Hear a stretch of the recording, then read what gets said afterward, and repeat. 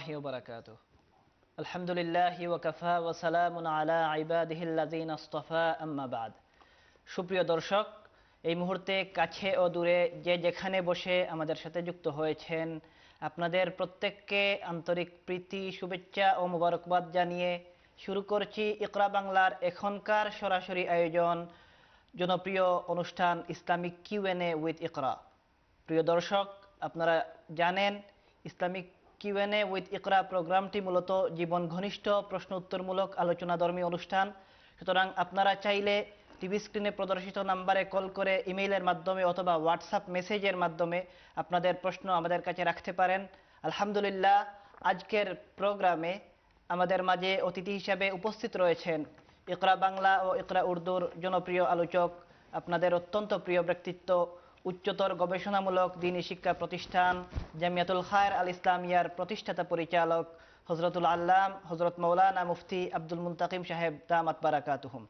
আমরা ইনশাআল্লাহ হজরতের কাছ থেকে অত্যন্ত গুরুত্বপূর্ণ আলোচনা শুনব এবং আপনাদের প্রশ্নেরও সমাধান জানব ইনশাআল্লাহ। আসসালামু আলাইকুম ওয়ালাইকুম আসসালাম রহমতুল্লাহ ভালো আছেন আলহামদুলিল্লাহ। আল্লাহ তালার শুক্রিয়া। আশা করি আপনিও ভালো আছেন। আলহামদুলিল্লাহ।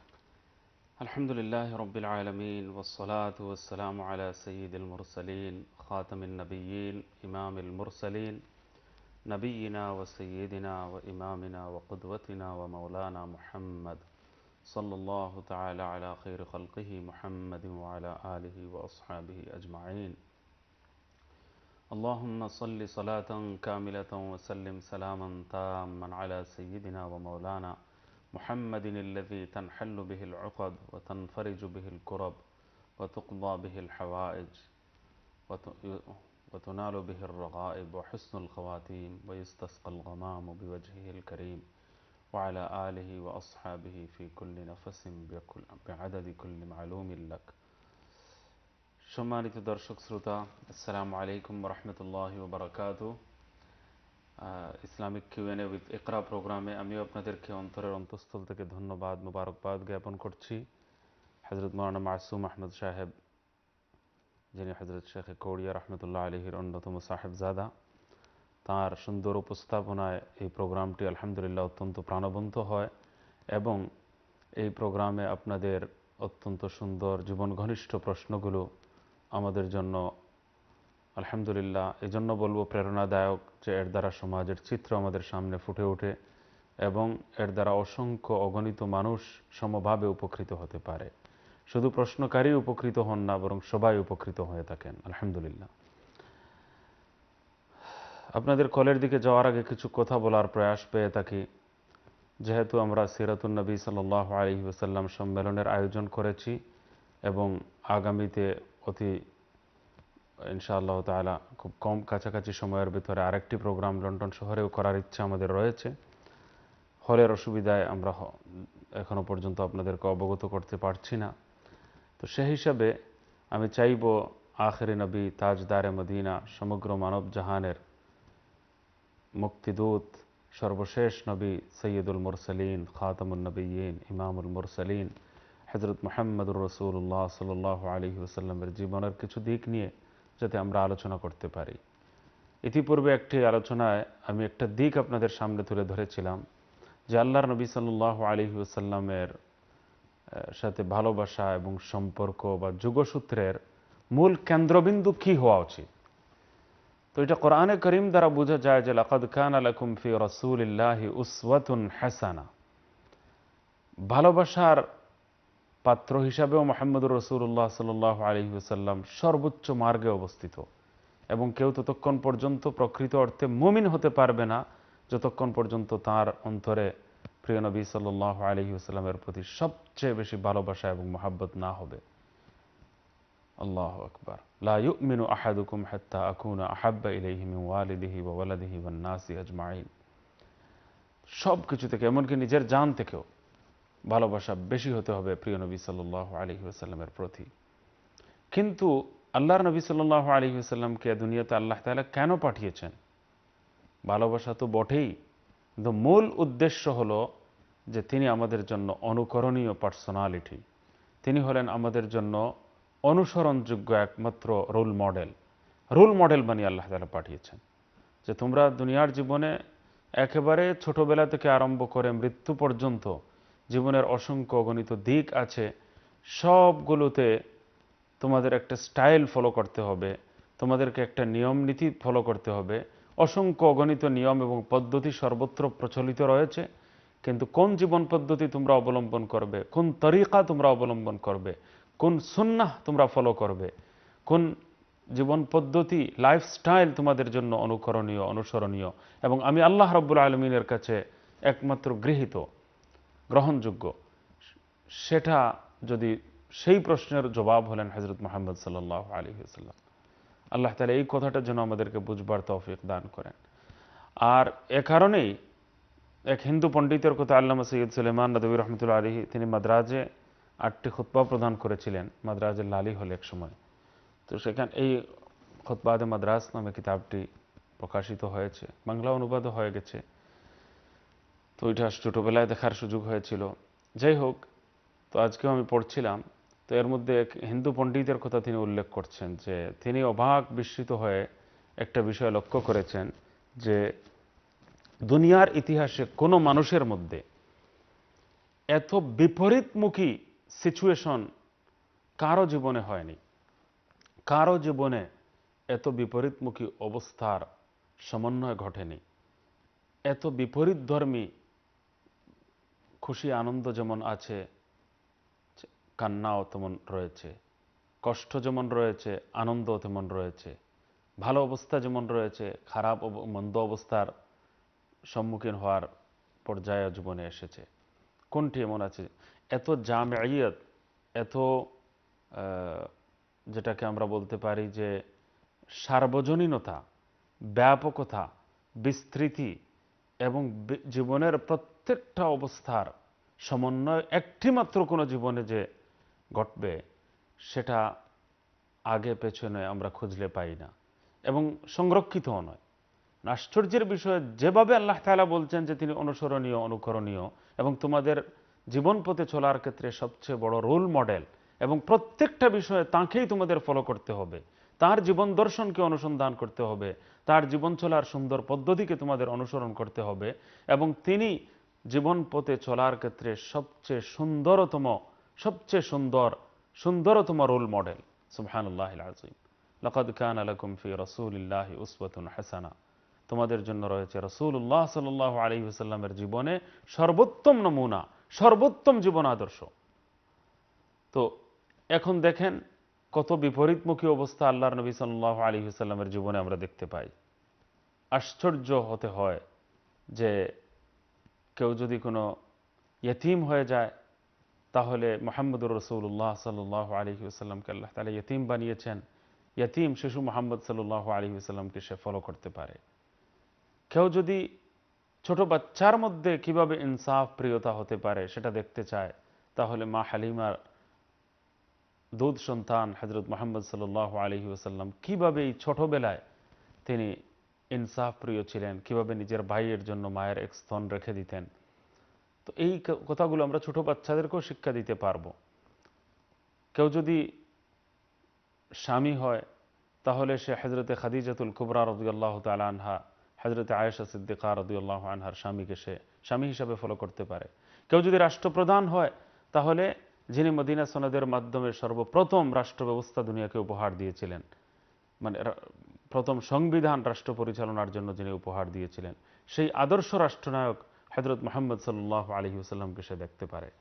কেউ যদি চিফ জাস্টিস হয়, তাহলে মদিনার কাঁচা মসজিদের সাহেনে আঙ্গিনায় বসে কীভাবে তিনি রাষ্ট্র পরিচালনা করেছিলেন, দেশের সবগুলো বিষয়ের ফয়সলা দিয়েছিলেন, সেই সুপ্রিম কোর্টের প্রধান বিচারপতি মোহাম্মদ সাল্লাহ আলী হুসাল্লামকে কেউ দেখতে পারে। মেষ ধারক যদি হয়, তাহলে মোহাম্মদ সাল্লাহ আলী হুসাল্লাম নিজে কীভাবে মেষ ছড়িয়েছেন?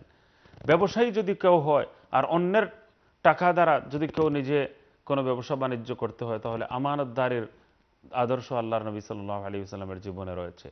কীভাবে তিনি বিদেশ সফর করে পাই পাই টাকার, প্রত্যেকটা টাকার হিসাব এবং অ্যাকাউন্টেবিলিটি আমানত দিয়ানত এবং সত্যবাদিতার সর্বোত্তম নমুনা পেশ করার মধ্য দিয়ে এমনভাবে এমন একটা জীবনের, সুবহানাল্লাহ আদর্শ তিনি হজরত খাদিজাতুল কুবরা রদিউল্লাহ আনহার সামনে পেশ করতে সক্ষম হয়েছিলেন যে হজরত খাদিজাতুল কুবরা রদিউল্লাহ আনহা এই আমানত, দিয়ানত এবং এই অ্যাকাউন্টেবিলিটি স্বচ্ছতা এবং জবাবদিহিতা এবং ব্যবসায়ের মধ্যে এত আদর্শ দেখে তিনি অভিভূত হয়ে বিবাহের প্রস্তাব দিতে বাধ্য হয়েছিলেন।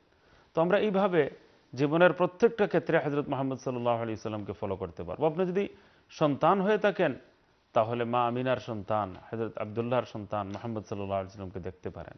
আদর্শ পিতা যদি হন, তাহলে হজরতে ফাতিমার আব্বা, হাসান হুসাইনের নানা হজরত মোহাম্মদ সাল্লাহ ইসলামকে আদর্শ পিতার ভূমিকায় আপনি দেখতে পারবেন। আদর্শ শিক্ষক যদি হন, তাহলে যিনি শুরু থেকে নিয়ে শেষ পর্যন্ত সবচেয়ে উত্তম শিক্ষক আনাবু ইস্তুম আল্লিমা সেই মোহাম্মদ সাল্লাহ ইসলামকে দেখতে পারেন। আদর্শ ছাত্র, আদর্শ শিষ্য যদি হন, তাহলে রুহুল আমিন হজরত জিবরিল আমিন আলী ইসলামের সামনে যিনি দোজানু হয়ে বসেছিলেন এবং আদর্শ ছাত্রের, আদর্শ শিষ্যের, আদর্শ তাঁরিবে ইলমের সুন্দরতম নমুনা যিনি দুনিয়ার সামনে পেশ করেছিলেন। তো আপনি জীবনের কোন একটা ব্যবসায়ী বলেন, মেষচারক বলেন, ইয়েতিম বলেন, ধনী বলেন, গরিব বলেন সর্ব সকল ধরনের অবস্থার অপূর্ব সমন্বয় এমনভাবে কারও জীবনে ঘটতে দেখা যায় না এবং সবগুলো অবস্থার বিশদ বিবরণ, বিশুদ্ধ বর্ণনার মাধ্যমে আমরা খুদাও খুঁজে পাই না। রসুল্লাহ সাল্লাহ আলি সাল্লাম আমাদের জন্য প্রধান রোল মডেল, সর্বোত্তম আদর্শ, অনুসরণীয়, অনুকরণীয় ব্যক্তিত্ব হওয়ার একটা বড় দলিল হলো তার জীবনের মধ্যে এত বিপরীতমুখী এবং সর্বা, সর্বধরনের ভিন্নমুখী অবস্থার এমন অপূর্ব সমন্বয় ঘটেছিল যার কোনো নজির খুঁজে পাওয়া যায় না। এবং সবগুলো অবস্থা বিশুদ্ধ বর্ণনার মাধ্যমে আমাদের সামনে এত সুস্পষ্ট যে আমরা প্রত্যেকটা অঙ্গনে মহানবী মোহাম্মদ সাল্লাহ আলহিসাল্লামকে অনুসরণ করতে পারি। যেমন আল্লাহ তালা অনুসরণীয় বানিয়েছেন, রোল মডেল বানিয়েছেন, তেমন তার অবস্থাগুলোকেও আল্লাহ তালা সংরক্ষণ করার ব্যবস্থা নিয়েছেন এবং বিপরীতমুখী অবস্থা তার জীবনে চলে এসেছে এবং সবগুলো অবস্থার অপূর্ব সমন্বয় তার জীবনে হয়েছে। এজন্য এই নবীকে যদি আমরা আদর্শ হিসাবেই গ্রহণ করি তবেই তার আগমনের লক্ষ্য এবং উদ্দেশ্য বাস্তবায়িত হবে এবং আমরা সফল কাম হতে পারব ইনশাআল্লাহ। আমরা ইনশাআল্লাহ এই বিষয়ে আরও আলোচনা শুনব। অত্যন্ত গুরুত্বপূর্ণ বিষয়। সুপ্রিয় দর্শক ইতিমধ্যে কলার আমাদের সাথে যুক্ত হতে শুরু করেছেন। আমরা একটু কলারের প্রশ্ন নেব। এরপরে আবার আমরা মুফতি সাহেবের কাছে ফিরে আসব এবং তার গুরুত্বপূর্ণ আলোচনা শুনব ইনশাআল্লাহ। দেখি কি আমাদের সাথে এখন যুক্ত হচ্ছেন। আসসালামু আলাইকুম রহমতুল্লাহ বারাকাতু ওয়ালাইকুম সালাম। জি আপনার প্রশ্নটা করবানি। আমার প্রশ্ন হলো নবীজিরে মোহাম্মদ সাল্লাহ আলাইসাল্লাম রে এবং হজরত শাহজালাল রে আমি বিনা দায়ী স্বপ্নে দেখছি। নবীজিরে সালাম করছি আর শাহজালাল সাহেবের ফেস দেখছি। আর আমার প্রফেসর হইলা ডক্টর এমাজুদ্দিন আহমেদ। নবীদার নবীজি মদিনা সনদের পূর্বে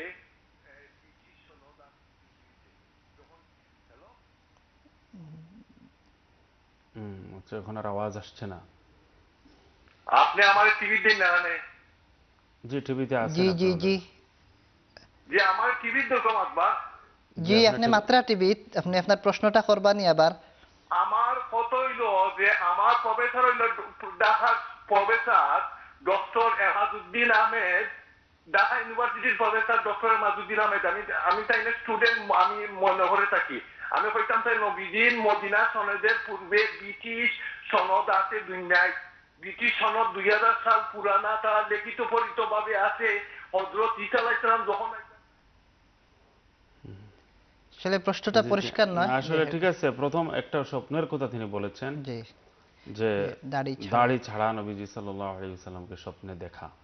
শাহজালাল সাহেবকে এবং নবী করিম সাল্লাহ আলী সাল্লামকে এটা আমাদের জন্য খুবই ধর সিরিয়াসলি এবং দুঃখজনক একটা বিষয়। যে আল্লাহর নবী সাল্লাহ আলহি সাল্লামকে যদি কেউ এমন অবস্থায় দেখে, তাহলে আসলে সত্য কথা হলো যে সত্য কথা হলো যে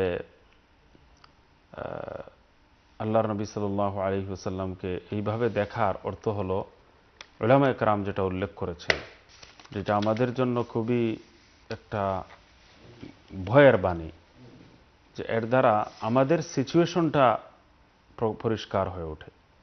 আমাদের অবস্থাটা, তিনি আমাদের জন্য আয়না স্বরূপ তো আসলে আমরা আল্লাহ নবী সাল্লাহ আলি সাল্লামকে যখন দেখি, যিনি যে অবস্থায় দেখেন তার আয়নাটা এর মধ্যে প্রতিফলিত হয়। তার চিত্রটা এর মধ্যে ফুটে ওঠে অনেক সময়। তো অনেক ওলামা একরাম বলেছেন যে, আল্লাহর নবী সাল্লাহ আলি ইসলামকে কেউ এমনভাবে দেখেছেন যে তার জানাজা রাখা। নবীজির জানাজা রাখা আর তার দাড়ি নাই। তো ওলামা একরাম এমন স্বপ্নের জবাবে বলেছেন যে এই উম্মতের মধ্যে সুন্নতের জানাজা বের হচ্ছে। আমরা নিজেরাই মুসলমান নামদারি হয়ে আখির নবী মোহাম্মদুর রসুল্লাহ সাল্লাহ আলী ওসাল্লামের জীবনের প্রত্যেকটা সুন্নতের, সুন্নতকে আঁকড়ে ধরা আমাদের উপর দায়িত্ব ছিল। আলাইকুম বি সুন্নতি ও সুন্নতিল খোলাফা ইর রাশিদিন আল মাহদিন মান আহাব্বা সুন্নতি ফকাদ আহাব্বানি আল্লাহ নবী সাল্লাহ আলিয়াল্লাম বলছেন, যিনি আমার সুন্নতকে যে মহাব্বত করল, ভালোবাসলো, সে সে প্রকৃত অর্থে আমাকে মহাব্বত করল, আর যে আমাকে মহাব্বত করল, সে আল্লাহকে মহাব্বত করল। তো নবীজির সুন্নতের প্রতি অগাধ ভালোবাসা, অকৃত্রিম শ্রদ্ধাবোধ, আর আইস্ক মোহাব্বত নবীর সুন্নতের প্রতি হওয়া প্রত্যেক মুসলমানের ইমানের অপরিহার্য দাবি। আর এই দাবি পূরণে বর্তমান সময়ে মুসলিম উম্মাহ অনেক অক্ষম। আজকে অনেক মানুষকে আমরা সালাম পর্যন্ত দিতে পারি না। যে হয়তো সে এশিয়ান নন মুসলিম হতে পারে। এশিয়ান একজন নন মুসলিম আমরা দেখতে পাচ্ছি হয়তো এশিয়ান। মোস্ট প্রবাবলি সে মুসলমানও হতে পারে। কিন্তু আবার হিন্দু সম্প্রদায়ের অন্তর্ভুক্ত কোনো একজন মানুষ হতে পারে বা অন্য কোনো ধর্মাবলম্বীও হতে পারে। একটা চিহ্ন মাথা থেকে নিয়ে পাওয়া পর্যন্ত আমরা দেখি না সুন্নাতের। যা দেখে আমি সুনিশ্চিত হয়ে, শিওর হয়ে বলতে পারব যে তিনি না, মোহাম্মদ সাল্লাহ আলি সাল্লামের উম্মদ এবং মুসলমান। এই কথাটা নিশ্চিত রূপে কারও ব্যাপারে বলা যায় না। তো নিজের দেশে হলে সালাম করা যায় যেহেতু মোস্ট প্রবাবলি তিনি মুসলিম হবেন। কিন্তু এই সমস্ত দেশে হয়তো ইন্ডিয়ান নন মুসলিম হতে পারেন সাবকন্টিনেন্টের নন মুসলিম হতে পারেন, এজন্য আমরা সালাম পর্যন্ত করতে পারি না।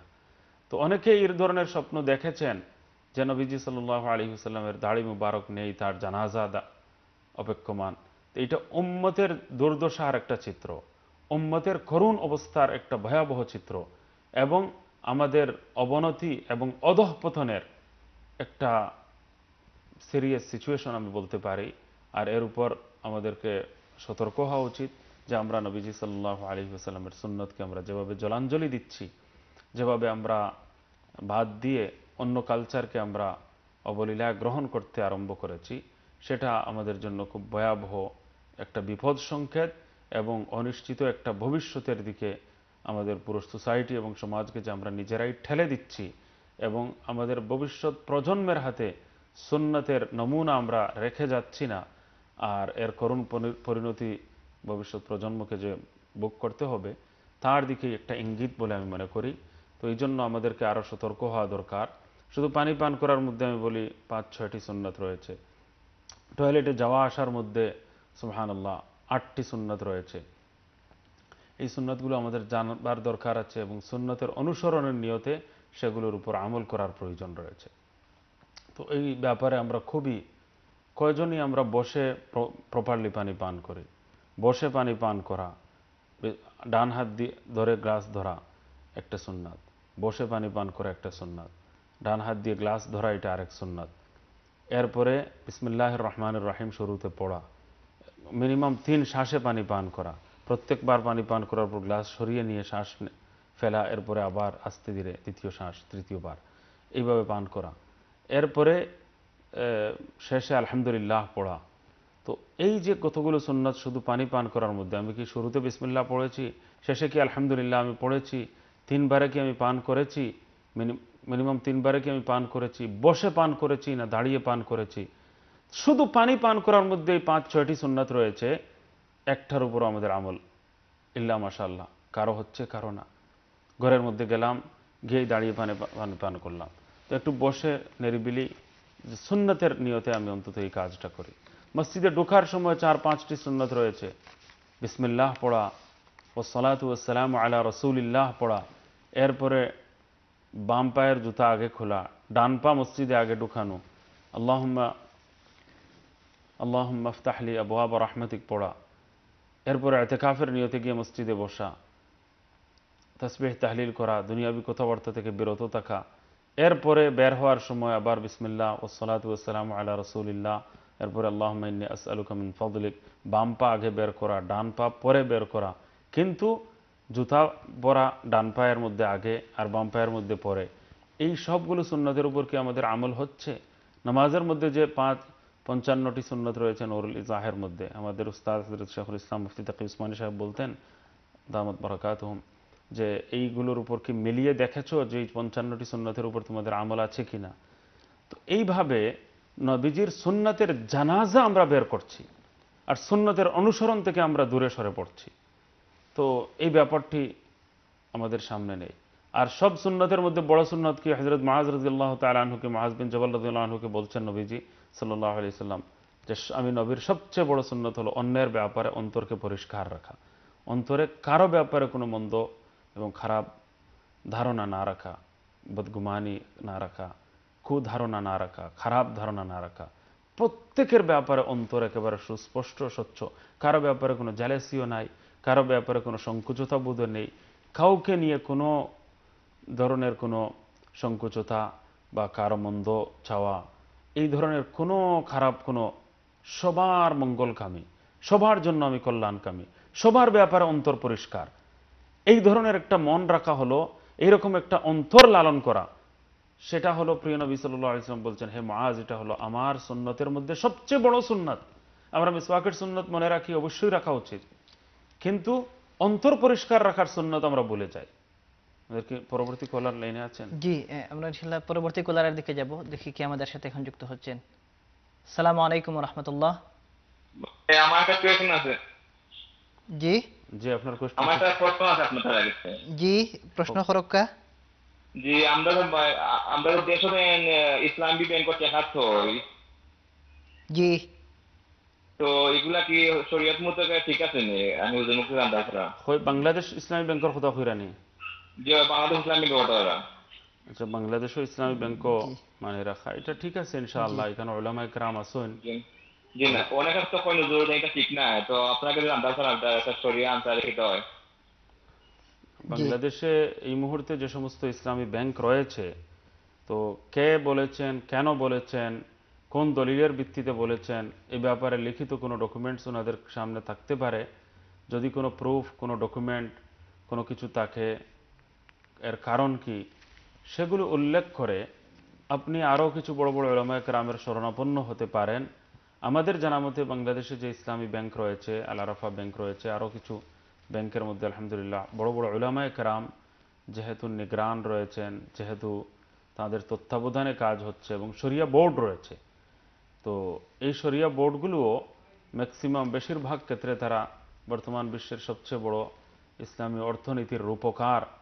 এবং Islamic economy, Islamic finance, Islamic ব্যাংকিংয়ের যিনি সর্বর্তমান বিশ্বের সবচেয়ে বড় মাস্টার মাইন্ড, শেখুল ইসলাম মুফতি তাকি উসমানী সাহেব ওনার কনসেপ্ট ওনার প্রিন্সিপল ওনার উনি ব্যাপারে বর্তমান সময়ে ইমাম আজম। মাসাল্লাহ অনেক ব্যাংককে উনি আগে ইসলামী বলেছিলেন, পরে এগুলো ইসলামী তাদের কেটে ফেলেছেন এবং বাদ দিয়ে দিয়েছেন, সম্পর্ক রাখেননি। অমুসলিম দেশগুলোর মধ্যেও কিছু ব্যাংক ছিল, যেগুলোতে তাদের ইসলামিক উইন্ডো খুলেছিল, সেগুলোকে তিনি তারা মূলনীতির উপর কায়েম থাকেনি। বিদায় প্রথমে যে শর্তে তিনি ঢুকেছিলেন সেই শর্ত অনুযায়ী তাদের থেকে তিনি পৃথক হয়ে গেছেন। তো এখন যদি এরকম কেউ কিছু বলেন, তাহলে এর কারণ আমাদের সামনে নিয়ে আসতে হবে, বরং ব্যক্তিগতভাবে যোগাযোগ করতে হবে। আর এই সমস্ত লিখিত কিছু ডকুমেন্ট আপনার সামনে নিয়ে আসতে হবে।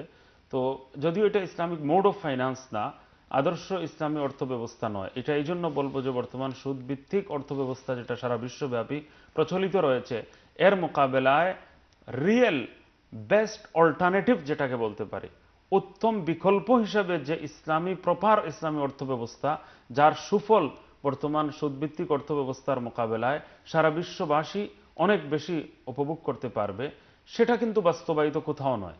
আর এটা বাস্তবায়িত হওয়ার জন্য, বাস্তবায়নের জন্য রাষ্ট্রীয় সিদ্ধান্ত ছাড়া কোনো উপায় নেই। যেহেতু এই ব্যাংকগুলো বর্তমানে ব্যক্তিগত উদ্যোগে এবং কোনো কোম্পানির মাধ্যমে কিন্তু কোনো রাষ্ট্রীয়ভাবে কোথাও ইসলামী অর্থনীতি সম্পূর্ণরূপে বাস্তবায়িত নয়। বিধায় আসল ইসলামী অর্থনীতি, যেটাকে মোড অফ ইসলামিক ফাইন্যান্স বলা যায়, আদর্শ ইসলামী অর্থ ব্যবস্থা বলা যায়, যেটাকে বর্তমান সুদভিত্তিক, প্রায় পাঁচশো বছর যাবৎ যে সুদভিত্তিক অর্থ ব্যবস্থার জঞ্জিরে সারা বিশ্ব আবদ্ধ, সেই অর্থ ব্যবস্থার উত্তম বিকল্প, ইসলামী বিকল্প যেটাকে বলা যায় ইসলামিক বেস্ট অল্টারনেটিভ যেটাকে বলা যায়, এটা রাষ্ট্রীয়ভাবে বাস্তবায়নের, বাস্তবায়ন ছাড়া যেহেতু উপায় নেই এবং বর্তমান সময়ে কোনো রাষ্ট্র রাষ্ট্রীয়ভাবে যাবৎ বাস্তবায়ন করতে পারেনি। কারণ যাই হোক, সেই হিসাবে আমরা এটা বলতে পারি যে বর্তমান ইসলামিক ব্যাংকিং সিস্টেম যেটা আছে, সেটা উত্তম ইসলামী আদর্শ অর্থ ব্যবস্থা নয়। বেস্ট ইসলামিক ইসলামিক অল্টারনেটিভ নয়, যেটাকে আমরা ইসলামিক মোড অফ ফাইন্যান্স বলতে পারি না। কিন্তু হারাম থেকে বাঁচবার জন্য আরও যে কয়েকটা পন্থা আছে, সেগুলো আমরা আখ্যায়িত করতে পারি। যে হারাম থেকে বাঁচবার অন্তত কিছু ব্যবস্থা এগুলো। তো কিছু মানুষ ইসলামী অর্থনীতি সম্পর্কে দ্বিধাহীন হয়ে দ্বিধান্বিত হয়ে পড়েন, আশঙ্কা অনুভব করতে থাকেন এবং এটাকে বেস্ট ইসলামিক অল্টারনেটিভ হিসাবে মানতে চান না। এটা আমরাও মানি। হ্যাঁ শুধু হারাম থেকে বাঁচার একটা উপায়। এই উপায়টাও মুসলমানদেরকে অবলম্বন করা জরুরি এবং আমার জানা মতে বাংলাদেশে বলেন, বাংলাদেশে আগে হজরত খতিব মৌলানা ওবায়দুল হক সাহেব রহমতুল্লাহ আলহী ছিলেন। শরিয়া বিভাগের প্রধান। এখন বর্তমানে শাহজালাল ইসলামী ব্যাংক এটা তো উলামা একরাম রয়েছেন। ইসলামী ব্যাংকে উলামা একরাম রয়েছেন এবং এ ব্যাপারে তারা খেয়াল নজর রাখছেন। এই জন্য এটাকেও যদি আমরা ভুল বলি, তাহলে আমার বুঝে আসে না।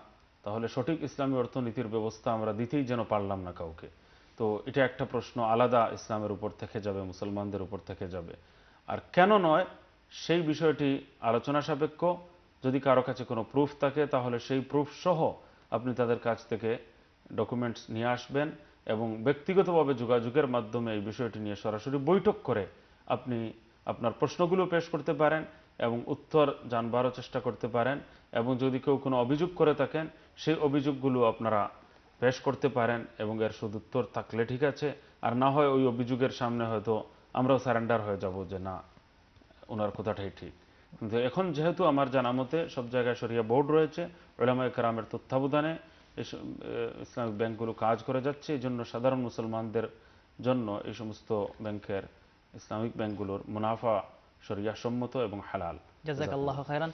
সুপ্রিয় দর্শক আমরা আমাদের পরবর্তী কলারের দিকে যাচ্ছি দেখি কি এখন আমাদের সাথে যুক্ত হচ্ছেন। আসসালামু আলাইকুম রহমতুল্লাহ আসসালাম ওয়া রাহমাতুল্লাহি ওয়া বারাকাতুহু জি খুব আপনার প্রশ্ন? আমার দুইটা দুইটা ওটা ওটা সুবহান আল্লাহ সুবহান সুবহান আল্লাহ আর আর হলো অধুর কাজে অধুর কাজে যে আমি পড়তাম যখন জানো হয়নি أشهد أن لا إله إلا الله وحده لا شريك له وأشهد أن محمدا عبده ورسوله اللهم اجعلني من الصواب واجعلني من الأكابر اللهم اجعلني من التوابين واجعلني من المتطهرين আর এরপরে শুরুতে শুরুতে আশহাদু আল্লা ইলাহা ইল্লা আনতা আশহাদু আল্লাহ আশহাদু আন্না মুহাম্মাদ ওইখানে কা একটা লম্বা হয়ে গেছে একটু। শুধু একটা কার মধ্যে একটু লম্বা হয়ে গেছে আমি মনে করি মোটামুটি ঠিক আছে। সুপ্রিয় দর্শক আমরা ইতিমধ্যে হজরত মুফতি সাহেবের কাছ থেকে অত্যন্ত গুরুত্বপূর্ণ আলোচনা এবং দর্শকদের প্রশ্নের সমাধানও জানছিলাম। সময় হয়েছে ছোট্ট একটি বিরতিতে যাওয়ার। বিরতির পর আমরা আবারও ফিরে আসব। সেই পর্যন্ত সাথে থাকার আমন্ত্রণ রইল। আসসালামু আলাইকুম ও রহমতুল্লাহ বারাকাতু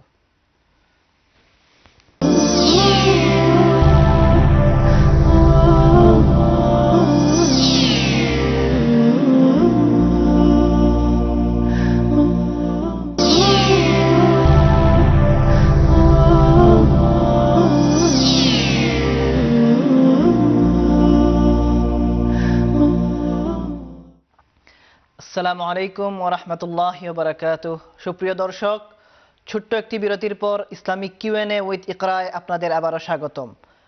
আলহামদুলিল্লাহ, আমরা বিরতির পূর্বে আমাদের মোহতারাম অতিথি জামিয়াতুল খায়ের আল ইসলামিয়ার প্রতিষ্ঠাতা পরিচালক, ইকরা বাংলা ও ইকরা উর্দুর জনপ্রিয় আলোচক, আপনাদের অত্যন্ত প্রিয় ব্যক্তিত্ব হজরতুল আল্লাহ হজরত মৌলানা মুফতি আব্দুল মুন্তাকিম সাহেব হাফিজাহুল্লাহর কাছ থেকে অত্যন্ত গুরুত্বপূর্ণ আলোচনা শুনছিলাম। বিরতির পূর্বে একজন প্রশ্ন রেখেছিলেন আমরা এখন হজরতের কাছে যাব এবং সেই প্রশ্নের সমাধান জেনে নেব ইনশাআল্লাহ। জি হজরত যে প্রশ্ন ছিল সুবহান আল্লাহ না সুবহান আল্লাহ মনে হয় এতটুকু আমি যা বুঝতে পেরেছি।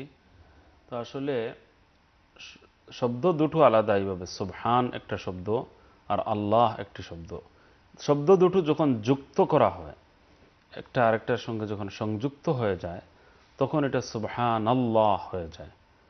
সুবহান আল্লাহ হয়ে যায়। তো এখন আমরা এটাকে এভাবেই পড়ব সুবহান আল্লাহ এভাবে পড়ব না সুবহান আল্লাহ পড়ব। কিন্তু শব্দ প্রথমটা ছিল সুবহান আর দ্বিতীয়টা ছিল আল্লাহ। দুটো একত্রিত হওয়ার পর পড়া এবং উচ্চারণের নিয়ম হলো সুবহান আল্লাহ তো আশা করি বিষয়টি ক্লিয়ার হয়েছে আপনার সামনে। আর আরেকটা প্রশ্ন কি ছিল? তিনি কালিমায়ে শাহাদত পড়েছিলেন এরপরে একটা দোয়া শোনাতে চেয়েছিলেন যে শুদ্ধ কিনা। মুতাতাহহিরিন আর এর আগে আশহাদু আল্লা ইলাহা ইল্লাল্লাহ ওয়াহদাহু লা শারীকা লাহু লাহুল মুলকু ওয়া লাহুল হামদু ওয়া হুয়া আলা কুল্লি শাইইন কাদির তো এই দোয়া আমি তো বুঝলাম প্রায় ঠিকই আছে আলহামদুলিল্লাহ। এরপরেও যদি কাউকে আপনি শুদ্ধ না অশুদ্ধ এটা শোনাতে চান পুরোপুরি আওয়াজ ক্লিয়ার হয়নি। আমি মনে করি কোন জায়গায় একটা কা বা কোনো একটা জবর একটা লম্বা হয়ে গিয়েছিল আপনার মনে আছে? তিনি প্রথম যে পড়েছিলেন তিনি বলছেন আশহাদু আল্লা ইলাহা ইল্লাল্লাহ ওয়াহদাহু লা শারীকা লাহু ওয়া আশহাদু আন্না মুহাম্মাদান। লা শারিকা লাহু এরকম একটা কিছু কাটা লম্বা হয়ে গিয়েছিল লা শারিকা লাহু। উচ্চারণ শুদ্ধ কিনা এটা আপনার কাছ। নিশ্চিত হতে চেয়েছেন। যে প্রায় এই জবর জের পেশ যদি শুধু জবর জের পেশ কোথাও হয় তাহলে এর উচ্চারণ শর্ট হয় ছোট হয় লম্বা যেন না হয় এটা খেয়াল রাখবেন। আর তো মোটামুটি ঠিকই আছে আলহামদুলিল্লাহ। আল্লাহ পড়বার চেষ্টা করবেন আমরা বিরতির আগে আপনার কাছ থেকে রাসূলুল্লাহ সাল্লাল্লাহু আলাইহি ওয়াসাল্লামের জীবন আদর্শ সম্পর্কে অত্যন্ত গুরুত্বপূর্ণ আলোচনা শুনছিলাম। এই বিষয়টি আলোচনায় আসা দরকার যাতে করে মানুষ রাসূলের জীবন সম্পর্কে জানতে পারে এবং সুন্নতের প্রতি উৎসাহিত হতে পারে। এই জন্য আপনার কাছ থেকে এই বিষয়ে আরও আলোচনা আমরা শুনতে চাই। ইনশাআল্লাহ পরবর্তীতে আবার কোলারে জি কলের দিকে আমরা চলে যাব যখন কল চলে আসবে। তো বিষয়টি অত্যন্ত লম্বা গুরুত্ববহ এবং আমাদের জন্য অনেক বড় চিন্তার বিষয়। তো এই জন্য আমি বলব যে আরেকটা কথা কে একজন বলে ফেলেছেন ফেলেছেন যে রাসূলুল্লাহ সাল্লাহ আগেও সংবিধান ছিল বিভিন্ন দেশের এই এইসব কথাগুলো বলেছেন। যে ল ছিল, বিভিন্ন ল ইত্যাদি ছিল, রোমান ল ছিল, আরও বিভিন্ন লর সন্ধান পাওয়া যায়। কিন্তু একটা সরকার রাষ্ট্র পরিচালনা করবে তো সরকারের জন্য রাষ্ট্র পরিচালনার বিষয়ে যৌথ রাষ্ট্রের ব্যাপারে কোনো সংবিধান যেটাকে রাষ্ট্র পরিচালনার জন্য আলাদা বলা যায়, এই ব্যাপারে ইতিহাসবিদগণ এই প্রায় একমত যে এর আগে শুধু রাষ্ট্র পরিচালনার জন্য কোনো সরকারের ক্ষেত্রে সংবিধান ছিল না। লিখিত প্রপার দস্তাবেজ এবং সংবিধান ছিল না এটা প্রথমবার হজরত মোহাম্মদ রসুল্লাহ সাল্লাহ আলহি ওসাল্লাম এই দুনিয়াকে উপহার দিয়েছিলেন। আগে কি ছিল?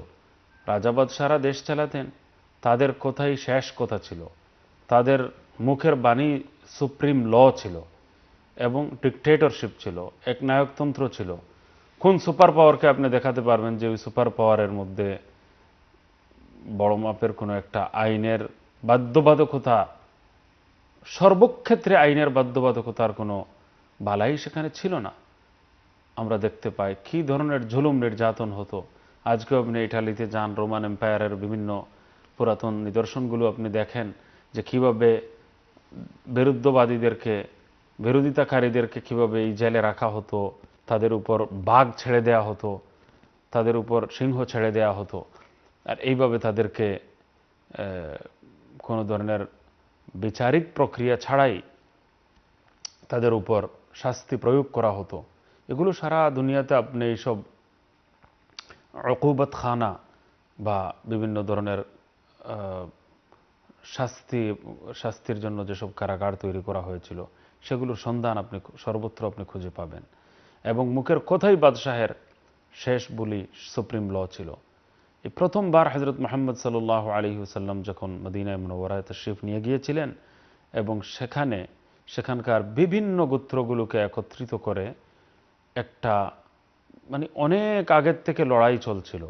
এর পাঁচ, সাত বছর আগে রসুল্লাহ সাল্লাহ ইসলামের মদিনা মনোবরায় পৌঁছার আমার যা যতটুকু মনে পড়ে, ছয়, সাত বছর আগেই ভয়াবহ যুদ্ধ সংগঠিত হয়েছিল। এবং মদিনার মধ্যে যে দুই গোত্র ছিলেন আউস এবং খাজরাজ, তারা কিন্তু একটা পেরেশান হয়ে গিয়েছিলেন।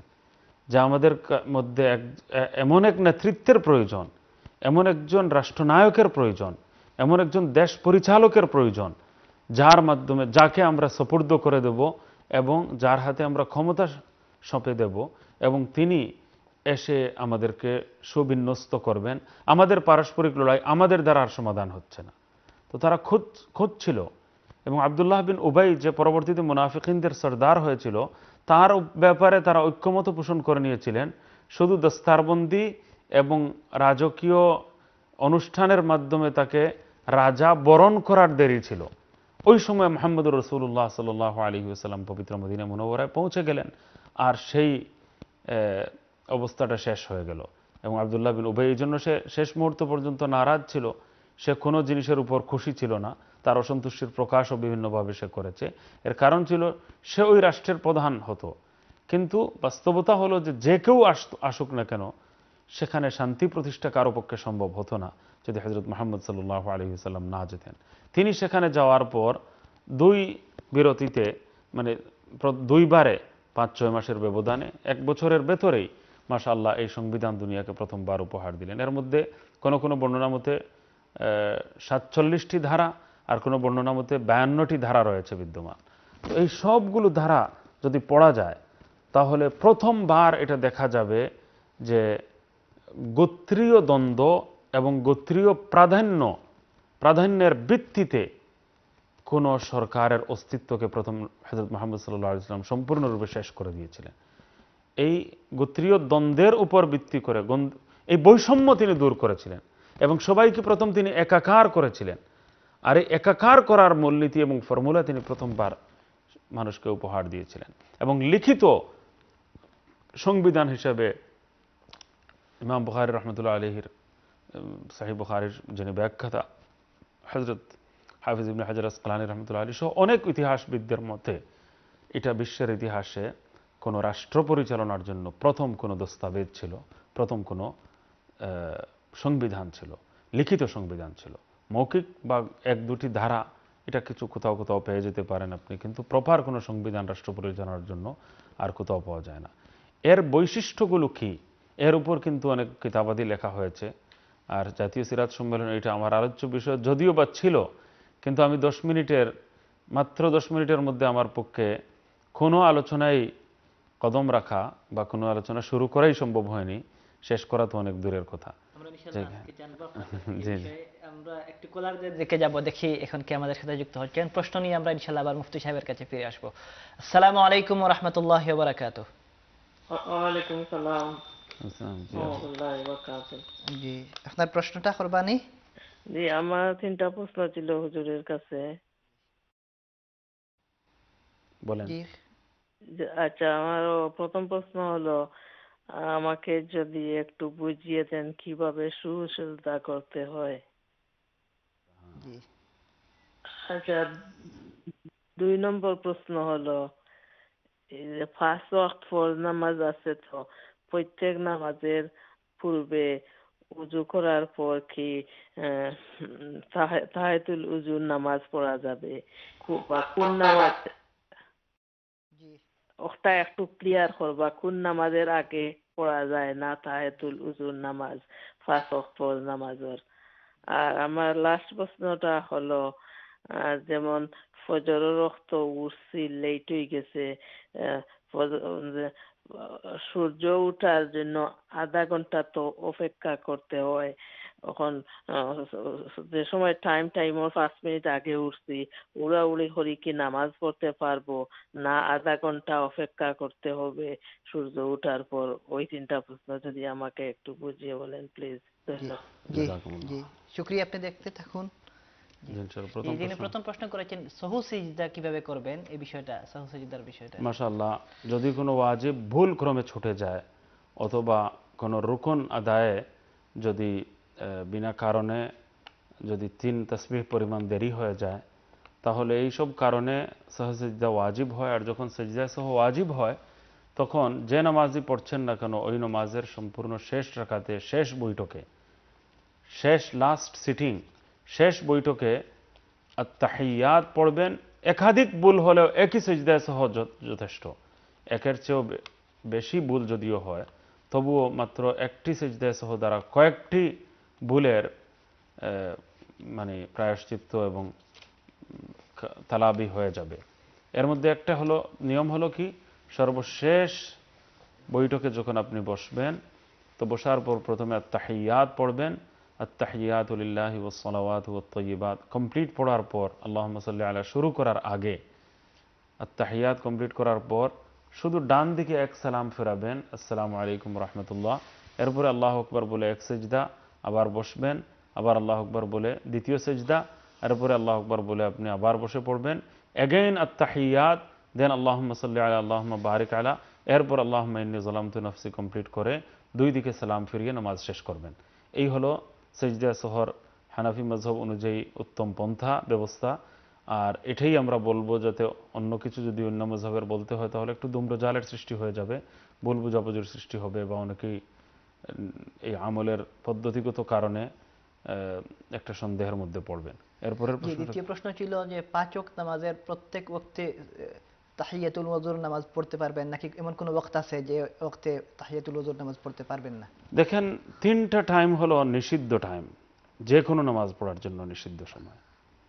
ওযু করার ইমিডিয়েট পর দুরাখাত তাহিয়াতুল তাহিয়াতুল ওদু নামাজ পড়া যেতে পারে, কিন্তু কয়েকটা সময় আছে এক্সেপশনাল যেগুলোতে পড়তে পারবেন না। এর মধ্যে তিনটি নিষিদ্ধ টাইম এবং প্লাস আসর টু মাগরিব তো নিষিদ্ধ টাইম কোনটি? নিষিদ্ধ টাইম হলো সূর্য উদয় হওয়ার যে সময় সানরাইজিংয়ের যে টাইম সূর্য অস্ত যাওয়ার যে সময়, এটা আপনি আধা ঘণ্টা বলেছেন, আসলে এটা বাস্তবতা নয়। এই যে টাইম যখন সানরাইজ টাইম যখন লেখা হয়, ওই সময় থেকে শুরু করে বেশি থেকে বেশি পনেরো মিনিট এনাফ দশ বারো মিনিট যথেষ্ট। মাত্র দশ বারো মিনিট অপেক্ষা করলেই হয়ে যায়, এখানে আধা ঘণ্টা অপেক্ষার কোনো প্রয়োজন নেই। ম্যাক্সিমাম আপনি পনেরো মিনিট অপেক্ষা করে নেয় এনাফ মোর দেন এনাফ তো এখানে সানরাইজের টাইম লেখা সানসেটের টাইম লেখা। সানরাইজ শুরু হওয়ার পর থেকে যে টাইম লেখা হবে, প্রত্যেক দিন ডিফারেন্ট ডিফারেন্ট টাইম তো সেই হিসাবে ওই টাইমটা ক্যালেন্ডার স্থানীয় ক্যালেন্ডার লোকাল ক্যালেন্ডার সংগ্রহ করতে হবে। আপনার নিকটবর্তী মসজিদের নির্ভরযোগ্য যে ক্যালেন্ডার হবে, নির্ভরযোগ্য বড় ইসলামিক সেন্টারের যে ক্যালেন্ডার হবে মসজিদের, সেটি অবলম্বন করবেন, সেটি অনুসরণ করবেন, এবং সেখানে সানরাইজিংয়ের একটা টাইম লেখা আছে। এই সানরাইজের টাইম শুরু হওয়া থেকে আরম্ভ করে ম্যাক্সিমাম পনেরো মিনিট পর্যন্ত নামাজ পড়বেন না। এই টাইমটা নিষিদ্ধ টাইম। ঠিক সানসেটের যে টাইম লেখা আছে, শুরু থেকে নিয়ে পনেরো মিনিট পর্যন্ত পড়বেন না। এটা হলো সানসেটের টাইম। আর আরেকটা টাইম হলো জওয়ালের টাইম। তো জওয়ালের টাইম আমাদের জন্য জানার সহজ উপায় হলো, প্রত্যেক এলাকার লোকাল ক্যালেন্ডারকে ফলো করতে হবে। যার যার ক্যালেন্ডারকে ফলো করা জরুরি। যার যার এলাকার ক্যালেন্ডারকে যার যার এলাকায়, যার যার শহরে যে নির্ভরযোগ্য ইসলামিক ক্যালেন্ডার সেন্টার রয়েছে বা মসজিদ রয়েছে, সেখানকার ক্যালেন্ডার অনুযায়ী আপনি দেখবেন আজকে জোহরের বিগিন টাইম কি আর জমার টাইম কি। তো জমার টাইম আমাদের বিষয় নয়। আসল হলো বিগিন টাইম অফ জোহরের ইমিডিয়েট আগের দশ বারো মিনিট নামাজ পড়বেন না। এই যে বিগিন টাইম অফ জোহরের ইমিডিয়েট আগের যে দশ বারো মিনিট, এটা হলো জওয়ালের টাইম নিষিদ্ধ টাইম তো জোহরের টাইম শুরু হয় কখন? যখন জওয়াল হয়ে গেছে মানে সূর্যটা একেবারে মিডলে না একটু ঝুঁকে গেছে, তখন এই জুখাকে আসলে জওয়াল বলা হয়। তো জওয়াল হয়ে গেলে তো জোহরের ওয়াক্ত শুরু হয়ে যায়, কিন্তু ইমিডিয়েট আগের সময়টাকে জওয়ালের টাইম বলা হচ্ছে আর তো এটা ইস্তালাহান এটার মশহুর হয়ে গেছে। সেই হিসাবে এই জওয়ালের টাইম হলো বিগিন টাইম অফ জোহর। আপনার এলাকার স্থানীয় ক্যালেন্ডার অনুযায়ী প্রত্যেক দিনের জোহরের যে একটা হলো বিগিন টাইম আর একটা হলো জমার টাইম তো জমার টাইম দেখবেন না, বরং begin time of Johar starting time of জোহর মানে ওয়াক্ত শুরু হওয়ার যে টাইমটা লেখা আছে, এই টাইমের ইমিডিয়েট আগের বারো তেরো মিনিট আপনি নামাজ পড়বেন না। আশা করি বুঝতে পেরেছেন। এই তিনটে টাইম হলো নিষিদ্ধ। আর আরেকটা টাইম হলো নিষিদ্ধ, সেটা হলো আসরের ফরজ নামাজ যখন প্রতিদিন পড়ে নেবেন, তো আসরের ফরজ নামাজ পড়ে নেওয়ার পর, আসরের ওক্ত হয়ে গেলেও আপনি যদি না পড়ে থাকেন, তাহলে আসরের আগে পড়তে পারবেন। ফরজ পড়ার আগে আপনি পড়তে পারবেন। কিন্তু আসরের নিজে যখন ফরজ পড়ে নেবেন, এরপর থেকে আরম্ভ করে মাগরিব পর্যন্ত যে সময়টা আছে। এই সময়ে কোনো নফল নামাজ জায়েজ নয়, সঠিক নয়। সুতরাং নফল নামাজ পড়বেন না। আর তাহিয়াতুল ওয়াজু যেহেতু নফল নামাজ বেদা এই টাইমে পড়বেন না।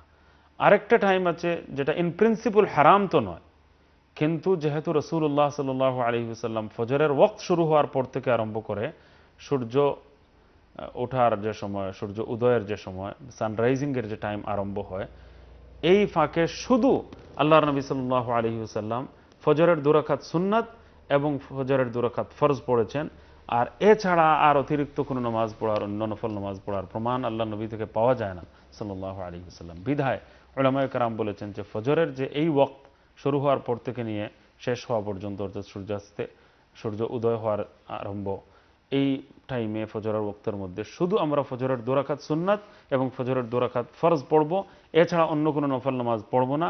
যেহেতু আল্লাহর নবী সাল্লাহ আলী সাল্লাম থেকে এই সময়ের মধ্যে শুধু এই ফজরের সুন্নাত এবং ফজরের ফরজ পড়া প্রমাণিত, আর অন্য কোনো নামাজ তিনি পড়েননি। বিদায় নবীজির সুন্নতের উপর কায়েম থাকার উদ্দেশ্যে যদিও এটা মানে আইনত নিষিদ্ধ কোনো সময় নয় কিন্তু এরপরেও আল্লাহর নবীর সারা জীবনের আমলের দিক বিচারে এই টাইমে আমরা অন্য কোনো নফল নামাজ পড়ব না এটাই সুন্নতের নিকটবর্তী অভিমত।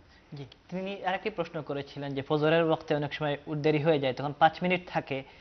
এই পাঁচ মিনিটের মধ্যে নামাজ তাড়াহুড়া করে পড়বে পড়বেন নাকি অপেক্ষা করে আধা ঘণ্টা অপেক্ষা করে পরে পড়বেন? ওক্তের ভেতরে সানরাইজ টাইম শুরু হওয়ার আগ মুহূর্ত পর্যন্ত যদি মানে আপনি এক রাখা তো পড়ে নিতে পারেন তাহলে ওক্তের ভিতরে পড়ে নেবেন। আর যদি এক রাখাতো পড়তে পারেন না পারবেন না এরকম অবস্থা যদি হয় তাহলে আপনি এই সানরাইজ টাইম শুরু হওয়া থেকে পনেরো মিনিট পরে আপনি নামাজ পড়ে নেবেন ইনশাআল্লাহ। পরে কাজা হিসেবে পড়ে নেবেন। জাজাকাল্লাহ খাইরান আমরা ইনশাল্লাহ পরবর্তী কলারের দিকে যাব। দেখি কে এখন আমাদের সাথে যুক্ত হচ্ছেন। আসসালামু আলাইকুম রহমতুল্লাহ বারাকাতু ওয়ালাইকুম সালাম। জি আপনার প্রশ্নটা করবানি? আমার প্রশ্ন হইল আমি নমাজ পড়ার কথা নমাজের ইয়ে জানতাম সালাম যে?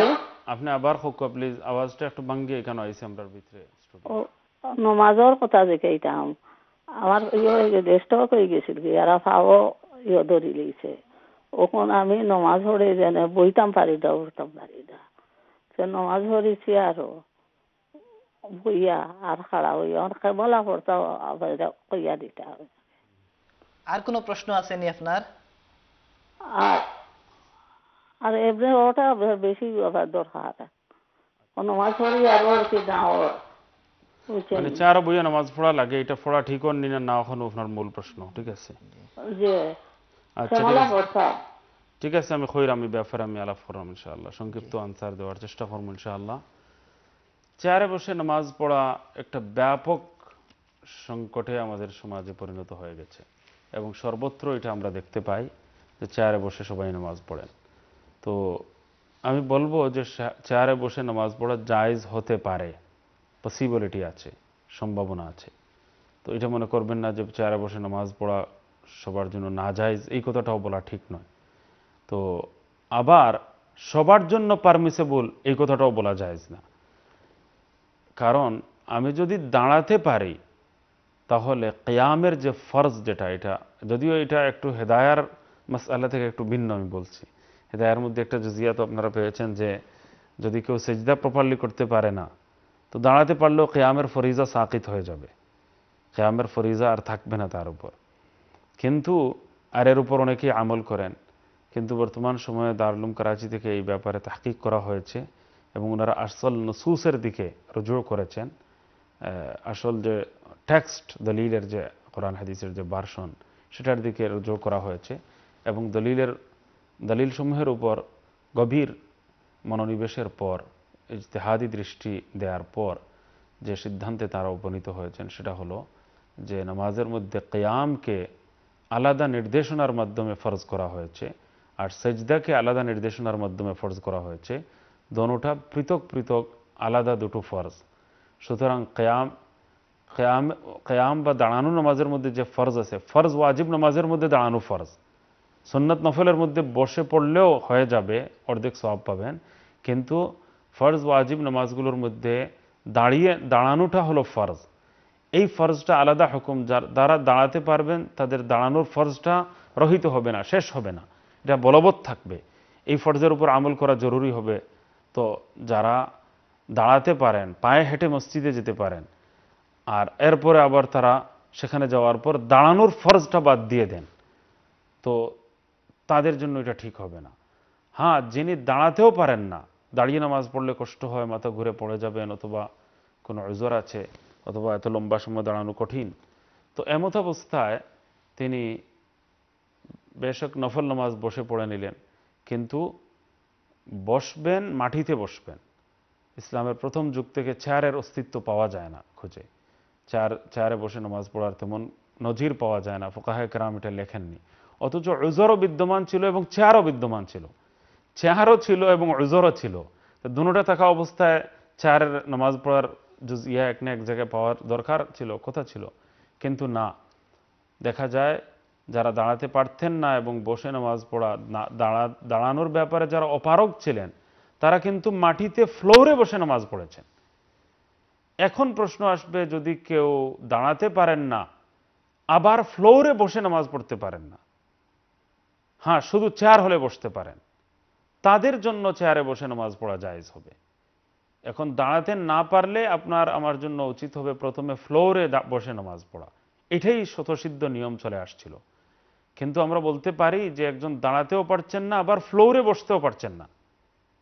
এই দুইটা অজর যদি একসঙ্গে পাওয়া যায়, তবেই কেবল তিনি চেয়ারের মধ্যে বসবেন।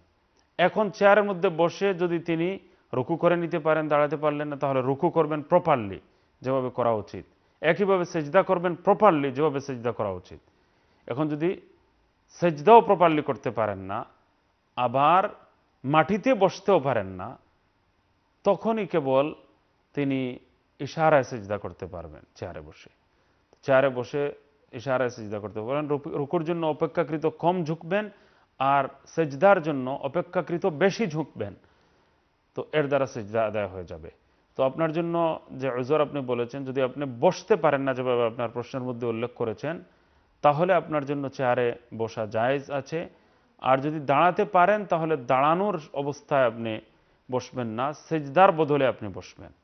সেজদার বদলে আপনি বসবেন বা রুকুর বদলে পরিবর্তে আপনি বসবেন। আর যদি দাঁড়াতে না পারেন, তখন আর সেজদাও করতে পারেন না, আবার ফ্লোরে বসতে পারেন না। তখনই কেবল চেয়ারে বসে কেয়ামও করলেন না, দাঁড়ালেনও না, আবার রকু সিজদাও শুধু ইশারায় করলেন প্রপারলি করলেন না। তখন এটা জায়েজ হবে। আশা করি আমার এই আলোচনার মাধ্যমে বিষয়টা ক্লিয়ার হয়েছে। সুপ্রিয় দর্শক, আমরা মুফতি সাহেবের কাছ থেকে আপনাদের বিভিন্ন প্রশ্নের গুরুত্বপূর্ণ সমাধান জানছিলাম। আপনাদের অবগতির জন্য জানিয়ে রাখি যে আপনারা চাইলে ইসলামিক কিউএনএ উইথ ইকরা এই প্রোগ্রামে আপনাদের বিভিন্ন প্রশ্ন সরাসরি কল করে অথবা হোয়াটসঅ্যাপ মেসেজের মাধ্যমে কিংবা ইমেইলের মাধ্যমে আমাদের কাছে রাখতে পারেন। ইনশাল্লাহ আমাদের মোহতারাম অতিথি আপনাদের গুরুত্বপূর্ণ প্রশ্নের সমাধান প্রদান করবেন। প্রিয় দর্শক, সময় হয়েছে এখন ছোট্ট একটি বিরতিতে যাওয়ার। বিরতির পর আমরা আবারও ফিরে আসব। সেই পর্যন্ত সাথে থাকার আমন্ত্রণ রইল। আসসালামু আলাইকুম ও রহমতুল্লাহ বারাকাতুহ।